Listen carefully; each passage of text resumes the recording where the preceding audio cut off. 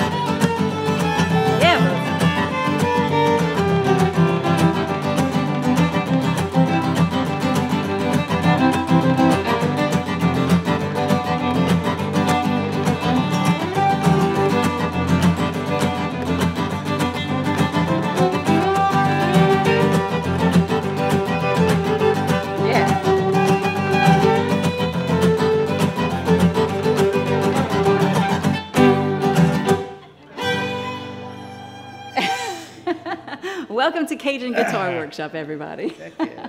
All right, so um, who is here to actually learn a little bit about the, the guitar itself? Okay, good. good, a couple of people.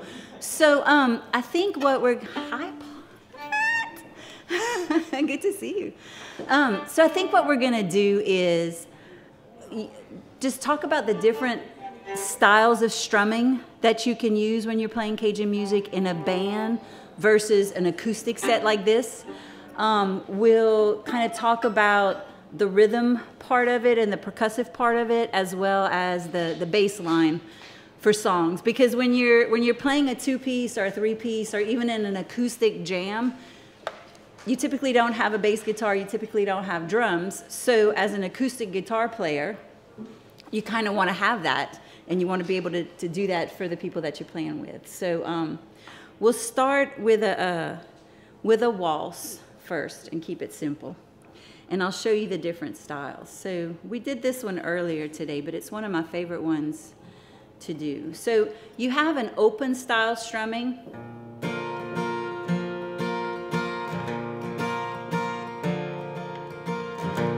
And then you also have a closed style strumming.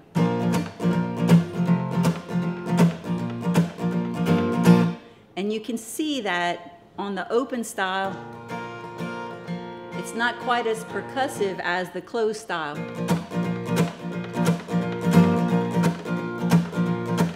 Right? And so for me, the song dictates what style I'm going to play in. So well, for this particular waltz, when I heard this waltz, um, attention, c'est mon cœur qui va casser. Uh, my heart, is, pay attention because you're breaking my heart, basically, is what it's saying.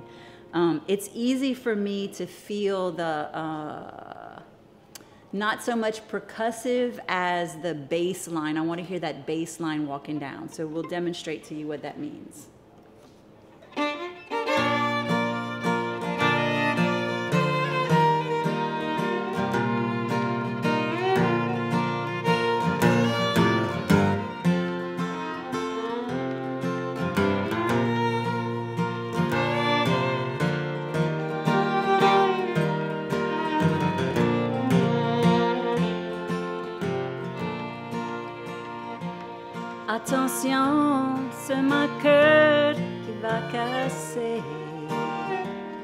Attention, c'est mon cœur qui va casser.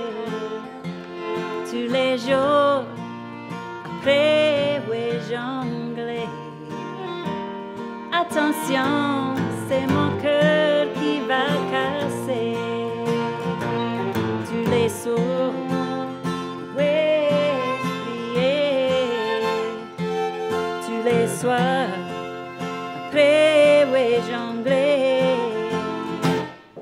Attention, c'est mon cœur.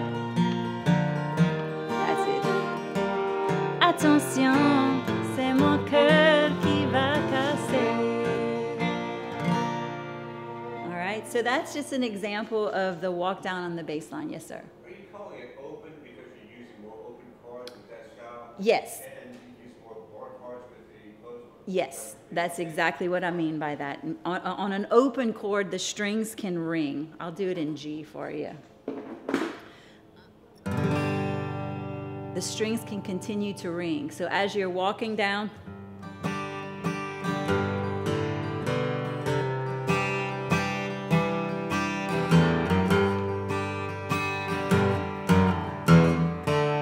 so you got your bass guitar and you still have your rhythm there, right?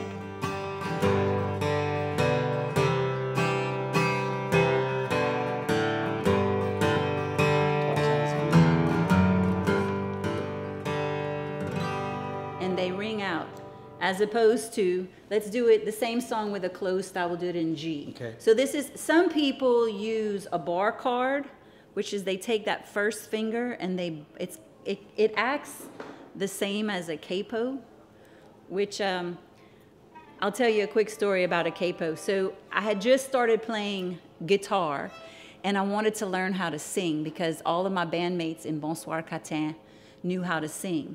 So I went up to this woman's house in West Virginia. Her name was Ginny Hawker. She's a fantastic folk singer. And so I go up there and she says, um, Well, I'd like for you to sing a song for me. So I said, Okay. So I sang a song and she said, Well, honey, I have a question for you. And I said, Yes, ma'am. She said, What makes you think you can't sing? And I said, Well, I mean, I, I try and sing with the radio, but it, it just, it's, the songs are too high and my voice just doesn't fit and, and I just, it just doesn't sound right. And she said, Well, doggone it, girl, use a capo. And I said, What's that? I had no idea. So she said, Come in here. So she pulled me in the other room and she got this thing and she said, This here, honey, is a capo. And she said, You put that on your guitar. And so, so she had a guitar and she showed me and she said, Now sing. Attention. She said, Nope. So she moved it here. Now sing. Attention. Better, she said. And she moved it here. And I sang, Attention. She said, There you go. That's your key. And she said, And what you do when you go home is you find you some musicians that can play in that key. And if they can't, you fire their ass. That's right. That's right. so that's what I did. I came home and I found Bo, and he can play in any key. But um, so the the bar chord basically it acts as it acts as um, a capo, shutting it down so you can play. But I never did really learn how to do the bar chord because the guitar player in my Cajun band, the Lafayette Rhythm Devils, played it in a in a C shape wherever he went, and he uses his thumb. I don't know if you guys can see. He uses his thumb as a walking bass line.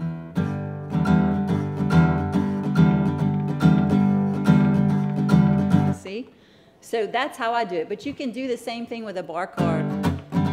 You just don't have that bass line. No, you do. I guess you can. Yeah. But um, so let's play a little bit of the open, and then we'll compare it in. Yeah. So here's the open again.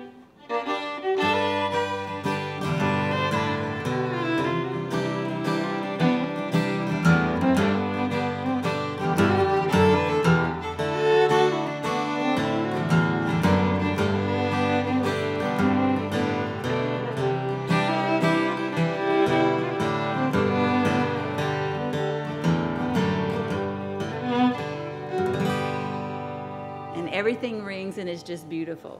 And to me, when I hear that song, that's the type, that's the style that I want to play in that particular Cajun waltz.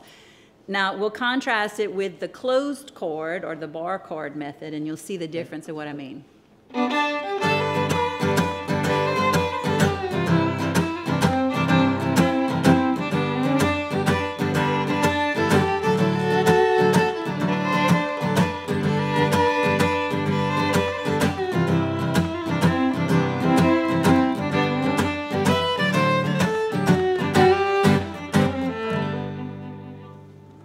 So do you see the difference? Yes. I am. Yeah, yeah. I'm gonna. I'll, I'll talk to you about that. And yeah, thank you. I'm glad you asked that question.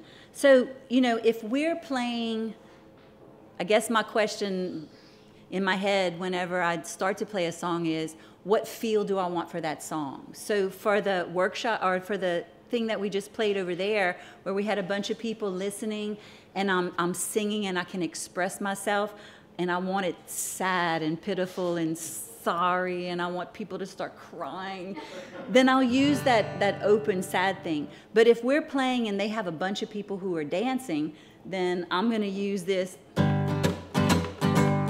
Because it's more it's more driven right? It's more driven. So that's kind of how i decide which way i'm going to which way i'm going to use it. Now on the the closed cards are like a, a two step um, that's when i'll start not so much the walking bass line, but I'm more interested in that percussive, you know, because I want I want that boom and I want that that snare hit whenever I'm playing. And uh, and Bo can tell you as a fiddle player. Matter of fact, one of the me shows uh, just said, Mm-hmm. yeah. I can't get over how how full with just two people. No, what he told what he told me was he said, "Dang, boy, can she back you up?" That's what she said. That's what he said. Because from a fiddle player's perspective, you know, we need somebody that's going to play and keep you in the pocket, you know, and play. And if you need, if it needs percussive or if it needs to be to be laid back, a rhythm player has to know how to do that. You know? Yeah. So I'll give you an example of uh, a couple of different styles of strumming with a with the closed chords on a two-step. Let's do the the, the back door. Okay. Um, and I'll just do it really really simple. Just let me know when you In want to stop it. Okay.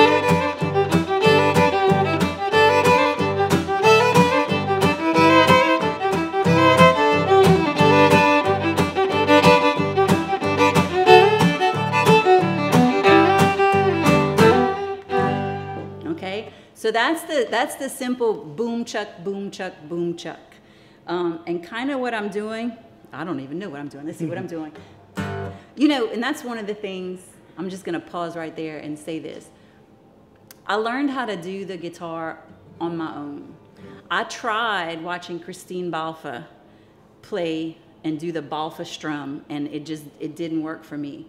So when I started playing duets with Bo and with uh, Richard Comeaux, I just kind of did what felt right and what filled in the space and what as because I, truly am a drummer at heart. I just don't want to carry all the stuff. so I try I tried to do it on the guitar. And if you this one is a new guitar, but you're starting to see the wear and tear on it. But if you would see my other one, it kind of looks like Willie Nelson's guitar. And that's from that that percussive snare drum that I'm hitting on my guitar. All right. So that was the straightforward. So this is kind of how I would typically do it.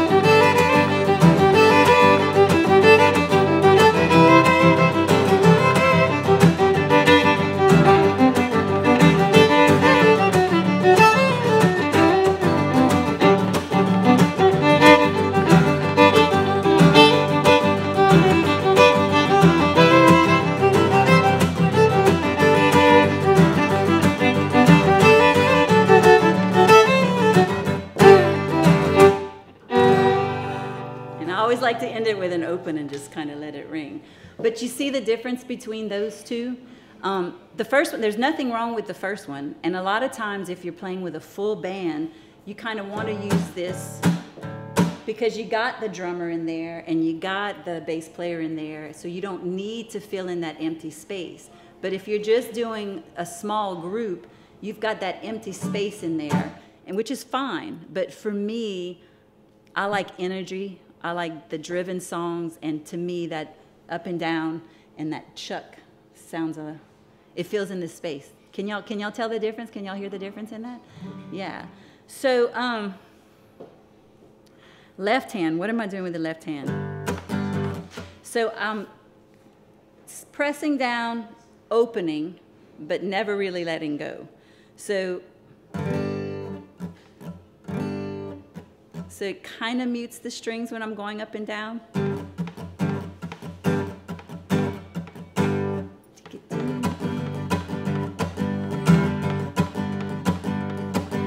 that make sense? I'm picking up my left hand slightly, so it, it you still get that, to me it's kind of like that snare effect, but it's not ringing out any notes in between. And you can, you know, and then you can, you can, uh,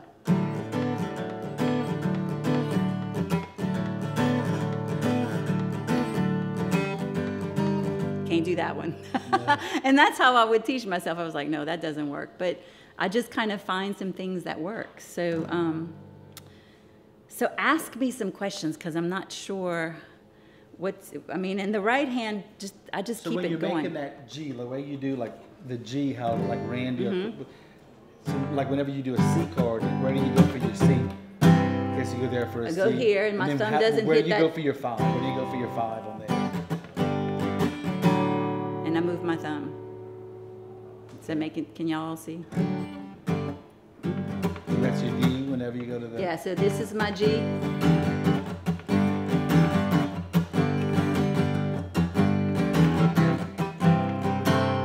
I move my fiddle, middle finger.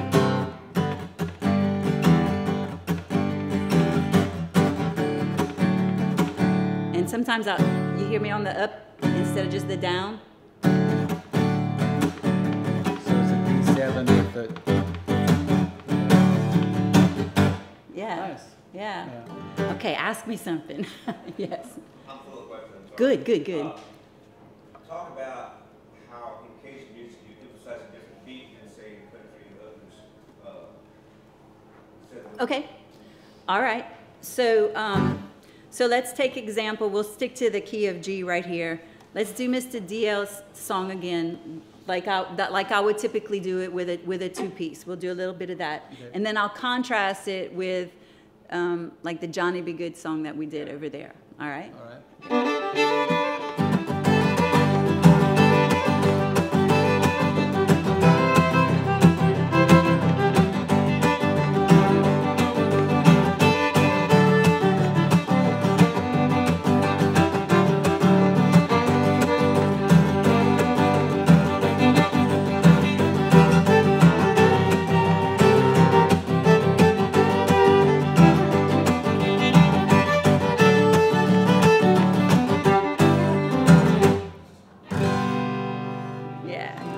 Throw in that seven if you want to right there. All right, so that's that's a pretty pretty straight uh, rhythmically, you know, duka chaka duka chaka duka chaka duka chaka.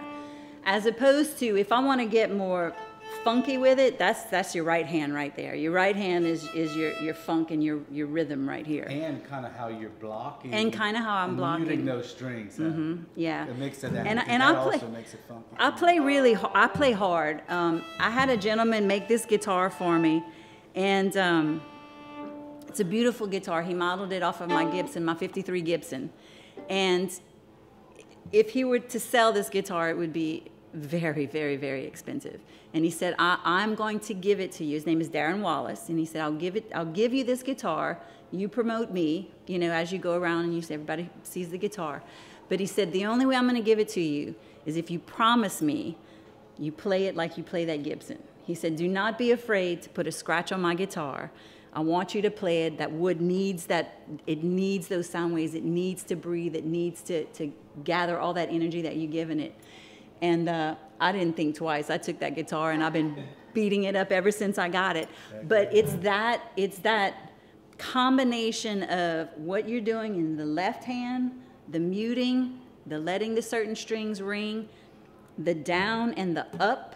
All right, so you get that when you that's that snare drum right there, and then um, down, up, up, up, down, up. Okay, so it's it's all of that, and then sometimes you can even hit on here, and you also need your left foot because that's your bass drum. And as you can Talk see, about as you can see, the, the microphone went falling off the stage after the first song because um, I mean, but that's that's what completes the rhythm section for me. You know, that's my bass drum, and then I've got my guitar, and I've got my bass on the walking, and I've got my snare on the strings right here. So, um, so back to the rhythm. It, so the back door was. It's pretty straight, right? Um, this one is more funky. Let's do Johnny Be Good. Okay. okay.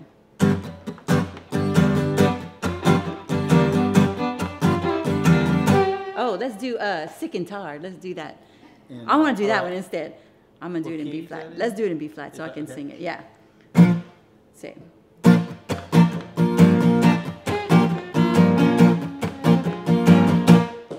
Oh, baby.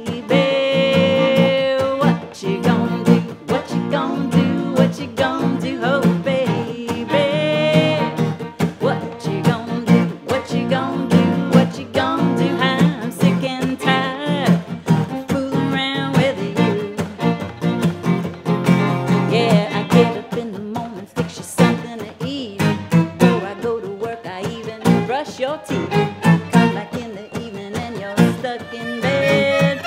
Got a rag tied round your head, oh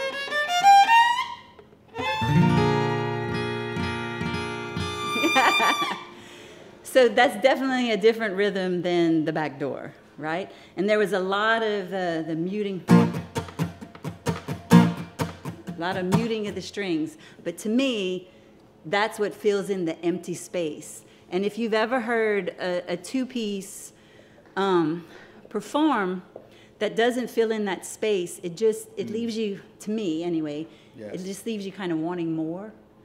Um, and by doing these little extra things with muting of the strings and with the upbeat and with the tapping, even the tapping in the foot, did y'all notice that it just kind of it kind of drives it? And I mean, who would think you'd come to a guitar workshop and I'm going to teach you how to stomp your left foot? But to me, it's important, especially when you're doing just a two-piece thing like this. And and I don't consider myself a great guitar player by any means because I, I mean I, I hang around with great guitar players who can pick and do all these fantastic, incredible things. But I do consider myself a solid rhythm guitar player, especially in a in a yeah Heck yeah. Solid as a rock. It's true, man. yeah. So all right, more questions, more questions. You're not doing any with your right hand? I sometimes I do. Um, I don't think I'm aware because I'm not thinking about it. Uh, you're asking me, so now I'm thinking, well, maybe, maybe I do. Let's see. Absolutely, I do. See, I never even thought about it, but yeah. So evidently, I'm blocking with my palm. Um, especially when I when I hit that that bass note, I'm blocking everything else right there, and then I come up and let it all go. Yeah. Man, I never even, I never had to break this down before. It's just something that I this is something that I did. Yeah. Yeah. So again, yeah. Um, let's do um, Robare. We're gonna go back to a waltz real quick, and and I'll show you. This is one of those waltzes where I don't want it to be nice and sweet. I think it should be percussive, and I think it should be danceable. G, Uh, C. C.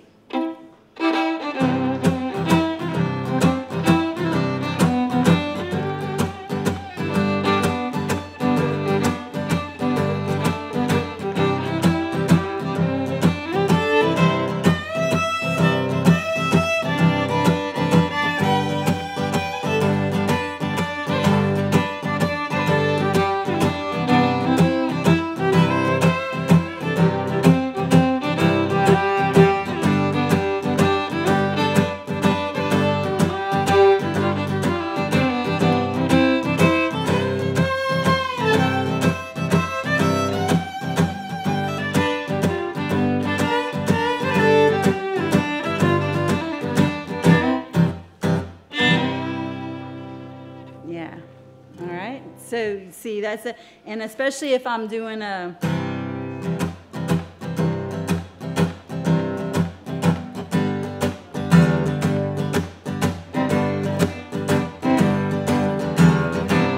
See, And so I'm. I'm doing those things too, and she's doing that. I'm also playing, Yeah. or vice versa. You know, it's it's ways to accentuate those Yeah. things to where it sounds full whenever you have. And just that's a way, yeah, that's a way that you can still have that, that snare drum on those closed chords, but you also have that, that bass line walking down to the C. I mean, you know, it's not, it's not as much as the open chords where you would be hitting every note. It's just that one note, uh, and it'll bring you down there. But you do a lot of stuff with timing too. Like instead of doing like da da, you'll be like da da, and just those things enable another musician to play against that and completely arra- rearrange that timing. Yeah. Turn it upside down. Uh, There's a lot of you know, syncopation, a lot of syncopation that happens in there, and, and that's not something that we'll be able to, you know, teach in a you know, 30 minute section. But I think if you're, you have to, as a guitar player, you have to listen to what your fiddle player or accordion player or pedal, whoever you're playing with, you need to listen, all right? You really need to listen to what they're doing and find what feels right. Because there'll be times where I'll start a song with a certain rhythm and I'm like, no, that just doesn't work. So I need to either put more or I need to take less. And then when you lock it in, you just stay solid and let these guys that do all that fancy stuff let them go but you stay straight and solid so that whenever they're finished going over way over here when they come back they've got that landing strip to land and they know that they're going to be there. You guys have told me that many a times before like they can they can go over on their rise they can take their little riffs do whatever they want but they know that even if they get lost in what they're doing over there whenever they come back you're going to be there on that downbeat, ready to go and, and, and, and save their butts. Exactly. Yeah. Yeah, yeah, exactly. Yeah. Yes, and you're especially, you know, again, I'm kind of focusing this workshop towards a small group, a duo or a trio. So it's very important as that rhythm. You don't need to be that fancy person that's doing all that, that fancy stuff. You need to be that rock solid rhythm section who's holding down the fort and let everybody else be fancy. But but you're the backbone of that of that group. Because, you know, there's times where if I need to get up and go somewhere, I'll tell Richard and Bo, I'll say, Y'all do something while I'm gone.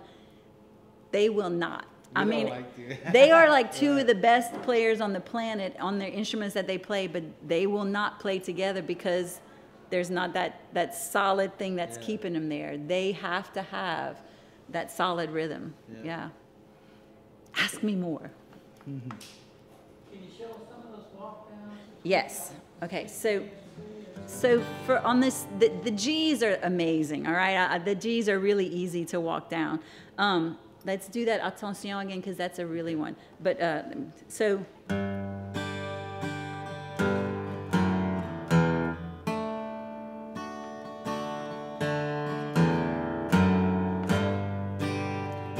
I make my C on this chord.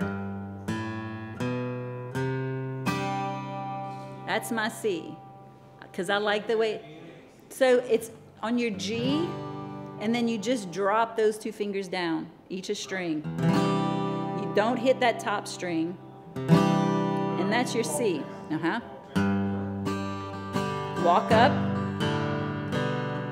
That's your C. Walk back down to G. Can walk down to D. I'll stand.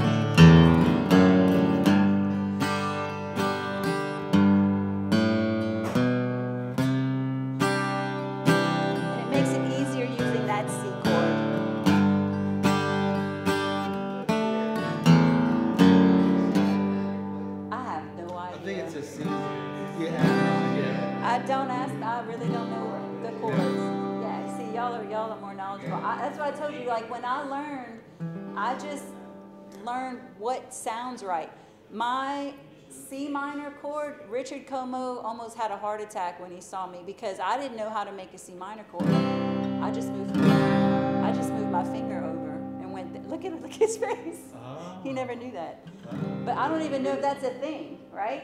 But it sounded right to me, so that's how I played it. You know, I just moved it over one fret, and that's your C minor.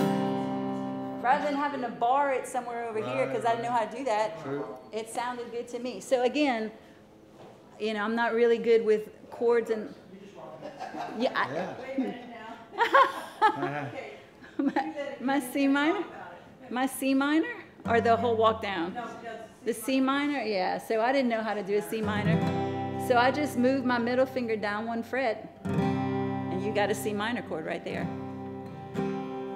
We, uh, what, which song we played with a C minor in there? We just did it. I don't remember what it was. But any, uh, anyway, so the walk down, uh, walk up. Uh, let's do attention so you'll see it in time.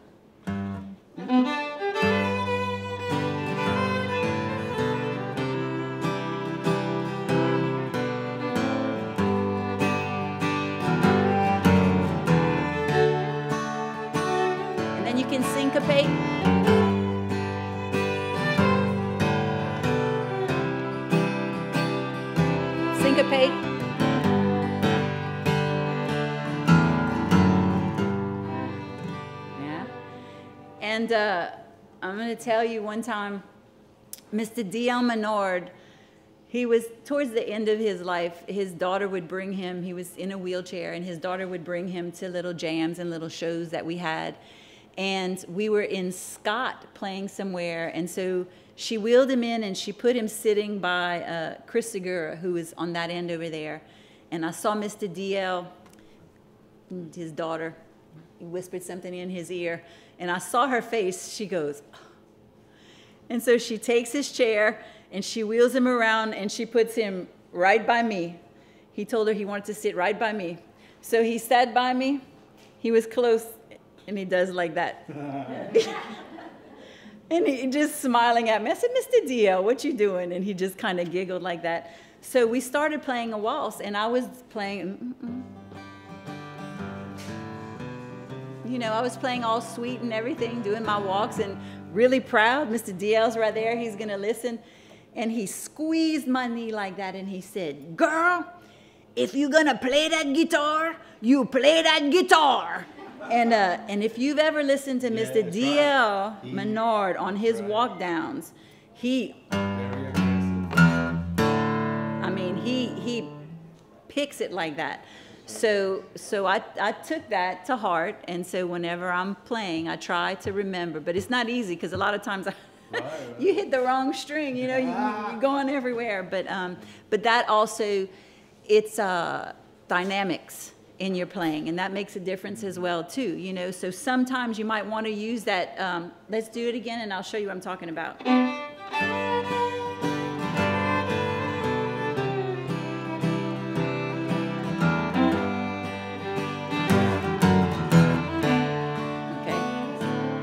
So you see what I'm saying right there? You can accent some of those things, and that also adds to the fullness in what you're doing and the dynamics in the thing. And all of that goes to listening and, and, and playing for the song and playing what's best for the song and not really playing what's best necessarily for you, you know? I mean, yeah, maybe you can show off some things here and there, but maybe the song doesn't need that. So pay attention to what the song is asking for and then go in your little bag of tricks and do you need that percussion or do you need the open strings? Do you need to accent that bass walk down or do you even need a walk down at all? Maybe you don't, you know? So um, that's, that's the bag of tricks that you have to pull from. Ask me more. Nothing? Yes. We have five minutes left. Wow, I thought this was gonna, okay. Who did you say made that guitar? Darren Wallace. Darren Wallace was, he worked for Taylor Guitars. He worked for, um, what's the, the round back guitars? Ovation. Ovation, yeah, he ran Ovation. What's that? Where is he out Um, he was up, yeah, he was up north, but he's since moved to Nashville and he's working uh, for Gibson now. Um, he's a fantastic luthier. Yeah, he's really good. hmm So shall we? Let's do two more songs. We'll do a two-step and a, a and a waltz, and and you'll see what I'm talking about. All right. Let's do um. We'll do a crawfish waltz, and this will this will be in the key of C, so it'll be a different walk down than the key of G. Um, okay.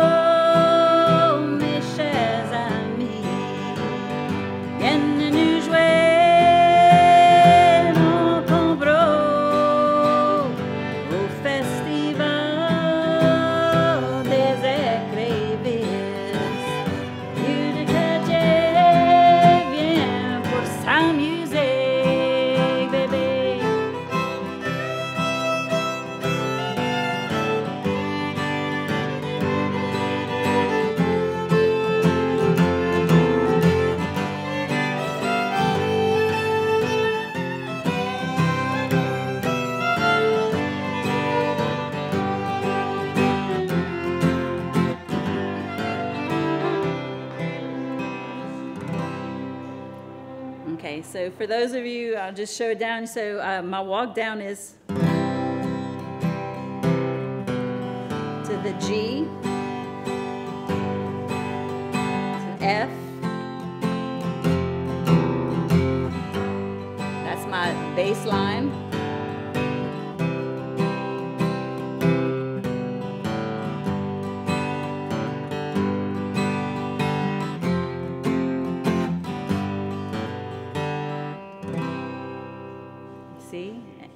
adds that whole. And I, I use my thumb as my my bass right there.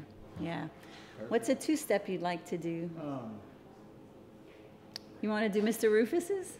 sure, that's a great one. Yeah. That's because that's a lot of, that's percussive. That's ve- yeah, a this- whole lot of That's all of that. in- Very percussive, song. and this is this is um, so you don't have a whole lot of walk downs in here, but you got a lot of Bo's gonna go off into the Netherland over there, and Mm-hmm. and he'll come back, and hopefully I'll be in the right spot. Well, Tell him a little be- bit about this song, real quick. This about is a Mr. song called uh, "Twinkle Twinkle Little Star," and uh, it's an old uh, folk song or old uh, kind of bluegrass song. And Rufus Thibodeaux, uh, fiddle player from uh, our area, uh, played this song, played it a little faster, and put a little swing to it, and uh, did a nice uh, version of it. I've always loved it. So This is a, this is a version of Cajun swing, I guess there you would go, call that's it. right. There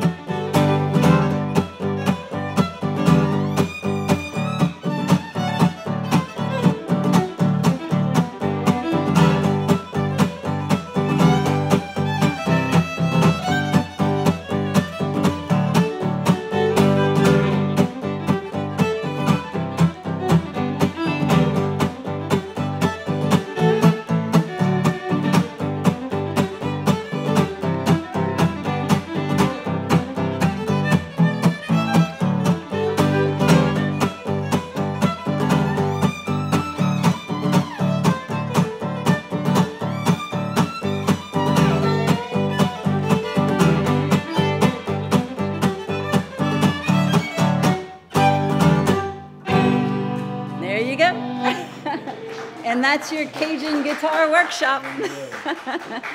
Thank you all so much for coming. Wow, I think that's a first for me. Good job. Yeah, thank you. Thank you. Um, guitar, I probably started seriously around 2010. Yeah. Uh, I started out on bass guitar, um, and I did that. And then when I started writing songs, well, I probably in 2009, I guess, I started seriously wanting to learn how to play uh, rhythm guitar. And I'll, I'll never forget, I would go to these Cajun jams, And the first time, I was really good at, at songs in G because I could make the G and the, the D and the C. Then we had a song in C and it went to F. And I was like, I could not, those of you who know, like an F chord is almost impossible. And so for weeks, every time they would play that stupid song, when it would come to the F chord, I would accidentally, accidentally drop my pick until, until it went back to C, and then I was right back on the, right back on the C. So, it, so it, it took a while to, you know, to master that F chord. Um, but yeah, so probably around 2009, 2010 is, is when I started doing the Cajun stuff. And then I started writing songs, um, you know, and every time I would learn a new chord, I'd write a new song.